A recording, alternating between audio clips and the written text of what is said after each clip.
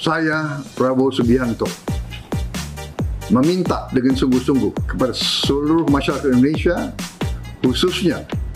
96,2 juta rakyat Indonesia yang telah memilih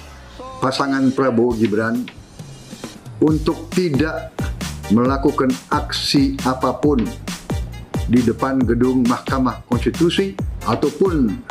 di tempat-tempat lain apalagi di jalanan demi menjaga